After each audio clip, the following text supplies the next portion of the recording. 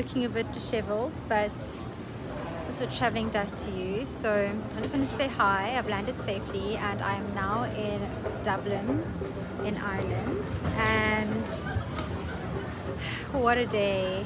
It definitely didn't go as I planned and it is what it is. These things happen. Just glad to be feeling a bit better. So the way that the day started is it was Tato's birthday and we had incredible plans at Heston Blumenthal's restaurant. If you guys have been watching my channel long enough, you'll know how much I absolutely love the culinary arts. I love trying new food. I love going to restaurants that offer and serve incredible food and Heston was one of my big treats on the trip. But unfortunately, when I got there, I was incredibly sick. I had to cancel all the meals that I had planned and the food that I did try to eat I just I could not keep it down so I'm just glad I made the executive decision to just not you know even try and eat so yeah, this is essentially where we are. I'm feeling much better and I have very limited footage of Heston. We had a private kitchen tour which is amazing and I think I filmed some of that and I'll add that. It's going to be a different menu, so these are going to be a little bit different.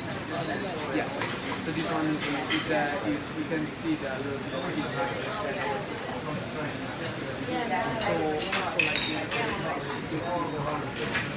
Okay, so as I'm still saying, the plan for this leg, it's quite a quick one, but it's going to be an incredible one. I am going to be staying with um, some family friends of mine that I've known for probably over a decade, almost two. And um, I haven't seen them since literally pre-COVID. They came to, they relocated to Ireland and then They've come to South Africa to visit a few times, but um, not all that much. And now they have a beautiful son, so I'm excited to see him, and it will be my first time actually meeting him. So keen for that. And then you are going to be seeing some faves as well. I don't know if it will be one or if it's two. It really is time dependent but one of your faves by the name of Oops is going to be on the channel so look out for that um, that will be around I think Monday or we might see her tomorrow. Depends on the schedule but I'm very excited about that because it's going to be my absolute first time meeting Oops and I know it's going to be a vibe. Um, and yeah that's essentially it. Oh yes my childhood friends put an itinerary together for me end to end all expenses paid and that literally I just couldn't believe it when they told me that this was happening yesterday and I just feel inc so incredibly so incredibly blessed to have friends that literally are like family now. So I just wanted to say a huge thank you to them on the channel as well before we start this leg. Um, yeah guys I was honestly like taken aback and just truly appreciate this incredible and immense gesture. So not only will they be taking me around, but they've covered everything for this leg and I feel like that's so wild and I'm just so blessed. So um, just looking forward to that itinerary and what we're going to be getting up to is going to be quite a busy one, especially because there aren't that many days that I'll be spending here. So trying to fit quite a few things in. But yeah, I'll take you guys through as much as I can. That's what it looks like outside at the moment. I've been told that it's drizzling, so it's quite wet, um, but I do have my rain jacket because I came prepared. I've been tracking the weather of the next two countries, one of them which I'm already in, for weeks now, so I'm kind of familiar with um, the situation. So I did come prepared, and I just hope it won't stop um, the activities that we have planned over the next few days. But yeah, I think that's all I have to say at the moment. Um, just going to try and find them because they are almost at the airport. So I'm now at Terminal 1 waiting for Lynn. She's at Terminal 2, so I'm not sure which side she's going to come from, but I definitely am trying to film her unawares. But I've got a sneaky feeling that she's going to catch me unawares, which is going to be really awkward. So let's wait and see um, where she's going to come from. You know, it's funny. She said to me, don't move. I'm coming to you. And what does Tuchu do? Tuchu moves. Anyway, this airport is really cool. Like, it's such a vibe. Um, I've actually never been to Ireland in my entire life, so it feels so. It feels like I'm in a different place, like for sure, 100% feels different. Okay, I'm gonna walk back to where I said I was. Um, I'm gonna talk to you guys soon. Hopefully, I can get her on camera while she's coming. I found her! I found her! Good morning, guys. So we are in.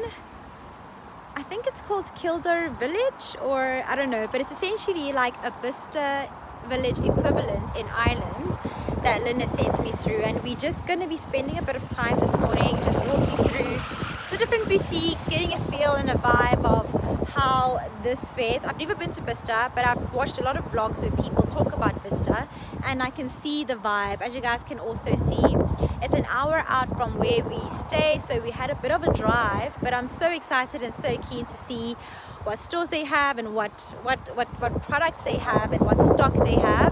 There's some things that I've had my eye on. Um, mostly wearables, not really bags. So I just want to see if they have anything in here. And yeah, I'm super excited. It's quite windy. It's quite a windy uh, morning, but I've got my weatherproof jacket. This is the Ooted. And yeah, I'm going to take you along on the journey as much as possible and yeah I hope you guys enjoy. I hope you guys can hear me because I know it's quite windy but yes today we've got Kildare Village. We've got quite a few things um, on the itinerary. Um, we've got a Guinness beer tour as well which is going to be fun. Tomorrow we've got a cruise and a dinner with the cruise. So there's a lot that we're going to essentially be doing and I'm going to take you through as much as possible. So yeah enjoy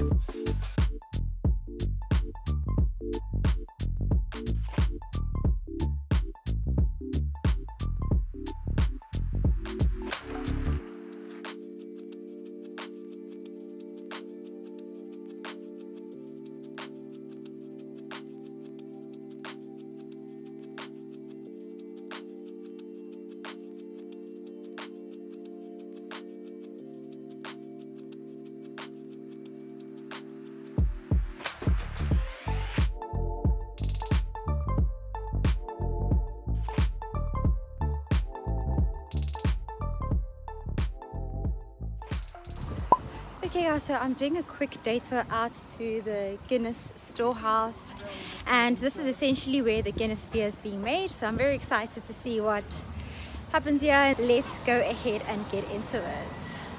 This is essentially what I'm walking towards. I'm going to try and film as much as possible. Hopefully I can film a lot and take you guys on the journey and yeah, let's go.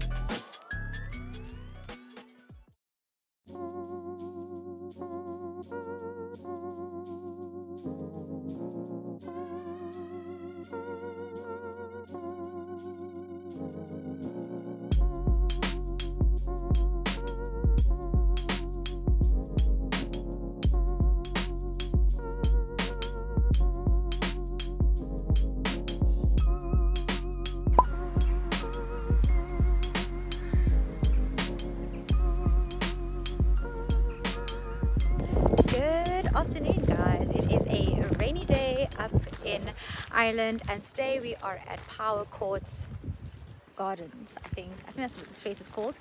And I am with my friends Lynn and Dogozo and baby and we are essentially walking down the gardens. And we have two things on the agenda today. We've got that as a first thing on the agenda well this as a first thing on the agenda. And we just had like a quick breakfast here. And then next we are going to go to the Van Gogh Museum. There were a few things that we had. We had a cruise as well um, but because of the weather and how it's been raining we've had to cancel that. Or they actually cancelled it because they said the, the tide was a bit too high. So I don't think I will actually be able to go on that because of the limited time that I have here. So that's a bit of a bummer but because I'm pretty sure it would have been very very nice so I'm just going to take you through what the gardens look like. This has been rated the top three gardens in the entire world um, by Nat Geo. So that's saying something, right? So you guys are in for a treat. I'm just going to walk around, show you guys how it looks. It's giving Versailles, but um, less colonizing. so let's see. It's also a bit rainy, so hopefully my phone won't get damaged and hopefully I can capture the beauty and it's not masked by the elements that we are currently experiencing. But I must say, having been in Ireland, the weather is wild. It's wild. Oh, the sun's about to come up. This is crazy. It's crazy. You can actually see it getting a bit brighter. Yeah, the sun is going to come out. But uh, yeah, let's go. Let's go enjoy.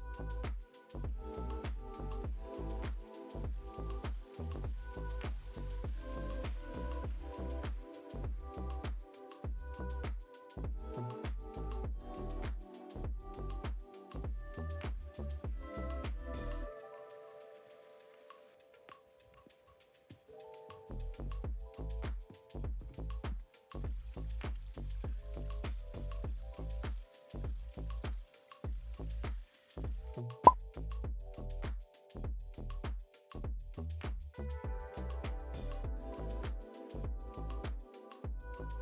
we are now at the RDS Hall and we just came out of the Van Gogh exhibition and oh my gosh it was so incredible.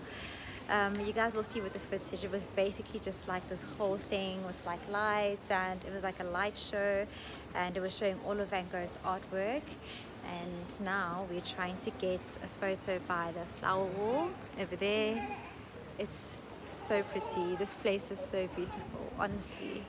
It's absolutely stunning. And then we went into this um, room with lights. It's called the infinity room which is over there and there's like a lights display as well. It's kind of like an optical illusion because the room looks much bigger than it is. I actually almost walked into the wall but um, yeah all good fun. So I'm going to show you guys all of the footage and yeah